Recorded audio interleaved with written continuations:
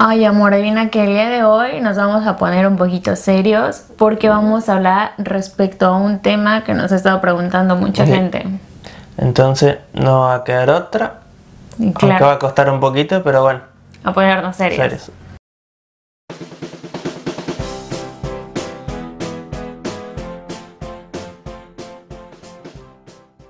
Hola amigos, ¿cómo están el día de hoy? ¿Qué onda? Bueno, como se les vieron al principio, el día de hoy vamos a hablar de un tema muy importante que últimamente nos han estado preguntando muchos mexicanos en Argentina y muchos mexicanos en México. Muchos mexicanos en México. Gonzalo 2018. Muchos mexicanos en México, ¿no? Pero bueno, muchos mexicanos en el exterior, para redundar. Eh, vamos a hablar del tema muy importante que es en Argentina el tema de la residencia permanente y que genera muchos por ahí problemas que es lo que vamos a tratar de evitar con el video de hoy. Bueno chicos, para poder arrancar este video vamos a dividirlo en el cual este, el día de hoy les vamos a hablar un poquito de la documentación que lo más importante de esta es poderla, si se puede lo más posible, tramitarla estando en México para así de esa manera no se nos vaya a dificultar un poquito más y podamos ya tener todo listo y que es más fácil moverse en México y en vez de estar haciendo un trámite desde fuera, ¿vale? Así que el día de hoy vamos a arrancar con los trámites que se tienen que realizar en México y qué documentos necesitamos. Amigos, como les explicó a mí, este video va a tratar de los documentos y trámites que van a necesitar realizar en México. ¿Y por qué le dicen documentos y trámites realizar en México si este trámite de, de residencia engloba mucho más documentos y trámites, tanto mexicanos como argentinos? Esto es porque decidimos hacer este video en dos partes para que ustedes lo entiendan más tranquilo y lo puedan entender bien en profundidad y no les surja ningún problema futuro. Bueno, en primer punto, lo que van a tener que tomar bien importante es que de todos los documentos van a necesitar el legalizado y apostillado de todos los documentos mexicanos. Y segundo, más importante, de todos los documentos van a necesitar fotocopia legible, que quiero decir con legible, una fotocopia que se note bien claro de todas las hojas o todo lo que vayan a traer. En este caso, el primer documento y el más importante de ustedes va a ser su pasaporte, que es en Argentina el documento que lo va a identificar a ustedes, del cual van a tener que sacar fotocopia a todas las hojas, no importa que estén blancas, todas las hojas. ¿Por qué? Porque cuando ustedes se lo presenten para hacer el trámite, Migraciones va a cotejar cuando ustedes entran a Argentina y cuántos son los días que tienen dentro de Argentina. Esto es porque si ustedes sobrepasaron los 90 días, porque en Argentina tenemos 90 días para ingresar como turista, si ustedes pasan esos 90 días, Migraciones le va a cobrar una multa, por eso tengan bien presente esto.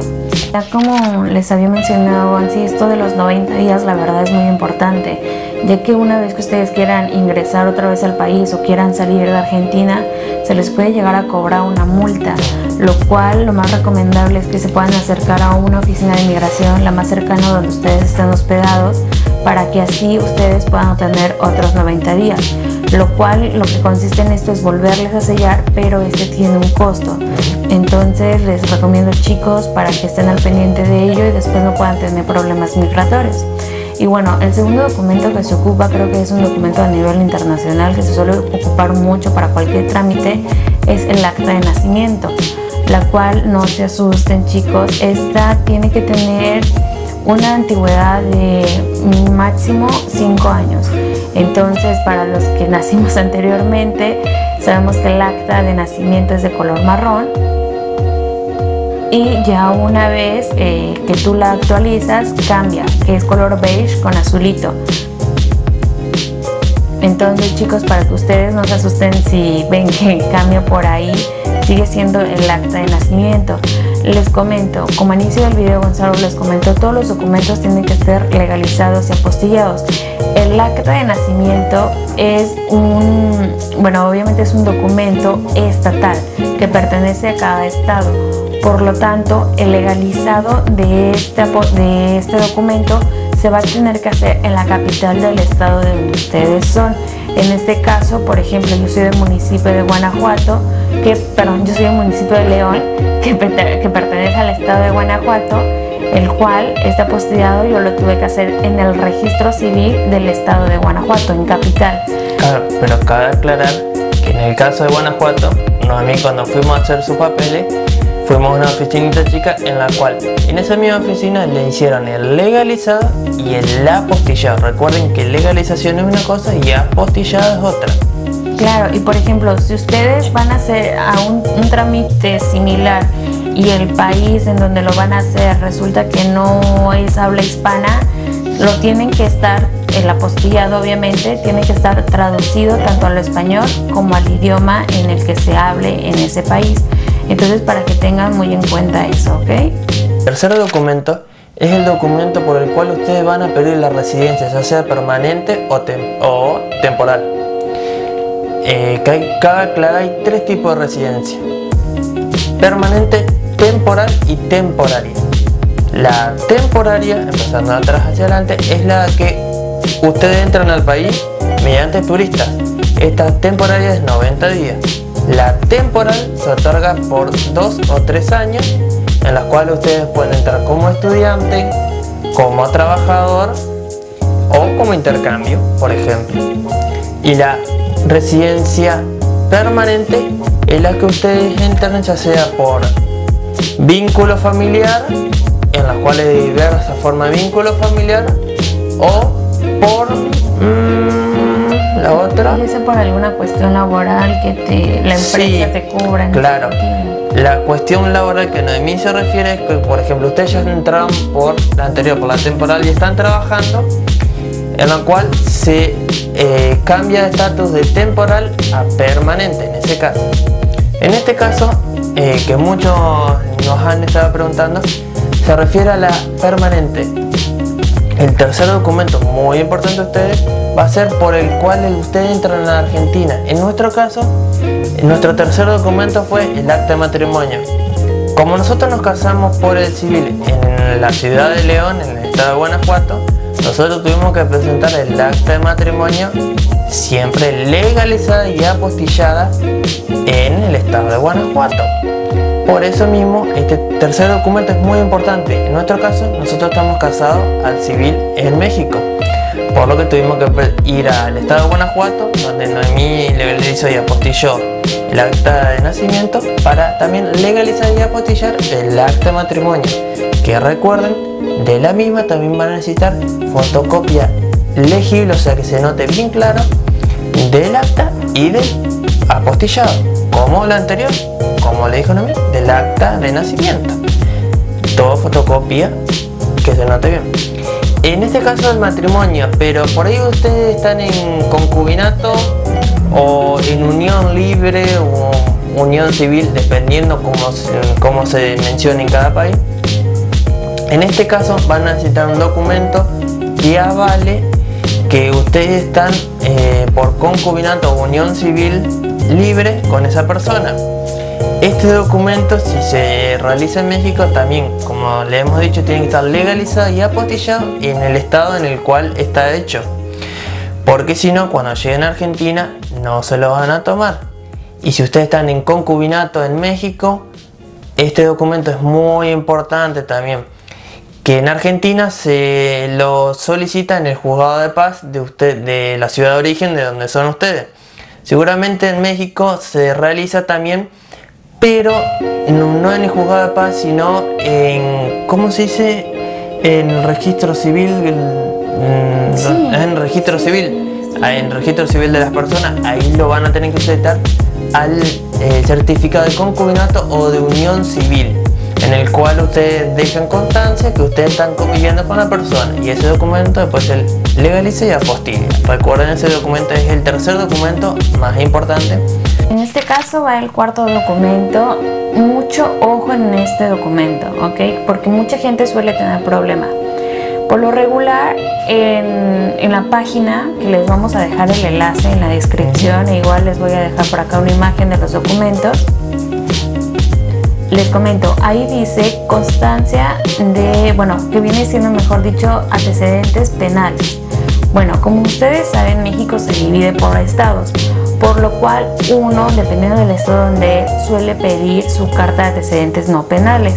Pero ojo, esto no es válido, ya que estamos hablando de un trámite a nivel nacional. Entonces, olvídense de que es antecedentes penales. Esto no es. Es un documento el que se va a llamar constancia de datos registrales la cual tiene que ser tramitada por la Procuraduría General de Justicia, que es la PGR. Chicos, tengan mucho cuidado en este documento, ya que este documento, como les mencioné, pasa a nivel nacional, pasa alrededor de toda la República Mexicana para revisar que ustedes no tengan ningún antecedente penal. Les comento chicos, este documento es tramitado, como ya les mencioné, por la PGR, el cual tiene que ser legalizado y apostillado a nivel nacional, en este caso es en Ciudad de México, porque estamos hablando de un documento a nivel nacional. Entonces, por lo regular, como es un documento que pasa por toda la República Mexicana, suele tardar algo de bastantes días en lo que te lo entregan, que por lo regular son de 15 a 20 días. Entonces chicos hay que tener muy en cuenta que una vez que nos entreguen este documento hay que poderlo hay que poderlo legalizar y apostillar lo más antes posible para que igual no se vaya a perder tanto los días de validación. Estos documentos sí tienen fecha de vencimiento, que son alrededor de 90 días. Entonces chicos, para que también estén al pendiente ahí. ¿Vale? Eh, igual, ese tiene, casi todos los documentos tienen costo alguno, pero pues ya es cuestión de que ustedes lo vayan realizando, ¿vale? Por ejemplo, en caso dicho, que fue algo que a mí me pasó, en caso dicho de que ustedes no se encuentren en Argentina y se les haya olvidado algún documento, van a tener que asistir a la embajada, a la área consular, en la cual ustedes les van a dar un formato de un ejemplo de una carta poder, que al igual yo les voy a dejar una cual ustedes otorgan el poder ya sea a un familiar o a algún conocido que les pueda realizar el trámite por ustedes. Por ahí va a ser un poquito más complicado porque en ese sentido, en cuestiones, estamos hablando de un documento, digamos, penal, en el cual ustedes saben que te toman huellas táctiles, te toman fotografías, entonces todo eso lo vas a tener que ir a realizar a la embajada de tu país, en la cual, como les mencioné, en la área consular, eso es lo que les van a tomar. Les van a tomar tanto huellas táctiles como ustedes se van a tener que tomar una foto tanto de perfil, o sea, de enfrente, tanto de perfil izquierdo y perfil derecho, en la cual igual yo les voy a dejar una imagen de los documentos que se deben de llenar. Claro, son, o sea, son tres documentos, como le dijeron a mí, les vamos a dejar imágenes de los mismos, así que quédense tranquilos, no se desesperen, estos tres documentos Incluso los van a encontrar en la embajada, la embajada se los va a proporcionar. Igualmente nosotros vamos a buscar la forma de dejárselo en la caja de descripción para que ustedes también lo vayan teniendo. Estos tres documentos son muy importantes y como dije mí son huellas dactilares, eh, pónganse muy lindos, ese día peínense, bañense ese día, ese día se tienen que bañar, después el otro día no se bañen, pero ese día bañense. Eh, fotos, eh, los tienen que llenar. Eh, Ajá, tienen que llenar y una ficha con sus datos. Y una vez que llenan esos tres documentos, eh, como le dijeron a mí, van a estar en la embajada y la señora cónsul general o la señora embajadora, porque ahora es una embajadora en, Argentina, una embajadora, la embajadora la señora embajadora de México, le va, a le va a otorgar un oficio, el cual ella está validando su carta de poder. Esta carta de poder tiene que estar firmada por ustedes, por dos testigos de acá en Argentina. También uno de los testigos es, digamos, la cónsul o en este caso la embajada. Y ya después, una vez cuando llega para allá, van a poner un lineamiento que ahí va a firmar la persona a la que ustedes le otorgan el poder Oye, amor, por cierto, este, los seguimos invitando para que se suscriban al canal, ¿no? Muy importante, suscríbanse. Claro. O sea que suscríbete. Claro, ustedes ya ahorita ya que están viendo pues este video, los invitamos para que se suscriban, sigan activando las notificaciones, la campana de la notificación, nos sigan poniendo sus comentarios respecto a qué piensan de nuestros videos. Si tienen el interés de saber algo más, pues igual nos pueden contactar en nuestras redes sociales. Pero para que no se compliquen tanto, pues déjenos el comentario Claro. abajo. Déjenos el comentario aquí abajo y nosotros lo leemos todo y les respondemos, en serio. Gracias. Claro. Al igual, bueno chicos, ya renovando otra vez a los documentos, hay que tener muy en cuenta este documento que la mayoría de la gente suele tener, como les dije, un poquito de problemas en ese sentido. Por ahí les voy a recomendar. Últimamente yo he estado viendo que hay muchas páginas en las cuales se están realizando trámites por, ti- por vía internet. Pero No. las recomendaciones de la embajada, Claro, yo les recomiendo eso. no, Este, las recomendaciones de la embajada, Ah, ¿cuáles son? claro. Sí, las recomendaciones de la embajada obviamente son que todo trámite lo realicen como debe de ser. Por más que te tarde un poquito más de días y te lo pinten súper bonito, que te lo van a dar enseguida, no. Hay que hacer las cosas como son. Capaz por ahí va a llevar su tiempo, pero qué mejor hacer las cosas como se deben de ser y quedarnos más tranquilos. Recuerden que la embajada de cada país pues siempre para eso están, para ayudarnos, para aportarnos y pues en lo personal a mí la embajada de acá en Argentina me ha ayudado muchísimo en mis trámites y pues eso se los agradezco bastante. Entonces chicos, para que ustedes estén al pendiente de los documentos, ¿ok? Bueno, como les dijo a mí, es muy importante que sigan las recomendaciones de la embajada. Hagan este trámite ustedes mismos. Va a haber muchas personas que le van a ofrecer la realización de este trámite. Pero es un tema muy delicado porque están en juego sus datos personales y su persona misma. Por eso como eh, a mí le pasó, en la embajada le recomendaron que hiciera ella misma los trámites. Por eso una vez que la cónsul general o la embajadora le firman este oficio, ustedes tienen que hacer un sobre y poner los tres papeles que le van a otorgar, que son las huellas, los datos y el otro con sus datos, la solicitud, más la carta poder y el oficio en el cual la, la señora cónsul general o la embajadora elevan a la Procuraduría General de México la solicitud para la extensión de la constancia de datos registrales. Este sobre, en recomendación de nosotros, lo deberían enviar por FedEx, que es la forma más segura y rápida en la cual va a llegar a México. Recuerden, en la carta de poder van a tener cuatro lugares. Los dos de abajo van a ir firmados por dos testigos de ustedes en Argentina. El de la izquierda por la persona que otorga el poder y el de la derecha por a quien se le otorga el poder. Esta persona va a firmar cuando esté en la Procuraduría y vaya a realizar el presente trámite. Ya como les mencionaba antes respecto a ese tema, eso es estando acá en Argentina. Por eso se les recomienda mucho que si ustedes están en México y piensan venir a residir acá en Argentina, se les recomienda que mejor ustedes hagan ese trámite personalmente para evitarse el rollo de tener que ir a la embajada, de tener que hacer lo de la carta poder y qué mejor estando ahí presente poder llenar y poderte mover por tu cuenta sin molestar igual a alguien más. ¿Ok? Bueno chicos, otro documento que igual nos suelen pedir mucho es una foto que es 4x4, la cual tiene que estar a color. Esa no hay ningún problema si sale eh, con las orejas destapadas, tapadas, como sea, ¿no? Nada más esta es igual eh, la fotografía que van a poner en tu DNI, que es como el IFE o el INE. Entonces, esta foto pues la pueden tomar en México, en Argentina, donde ustedes gusten. Entonces también para que tengan muy en cuenta el tema de la fotografía, ¿vale?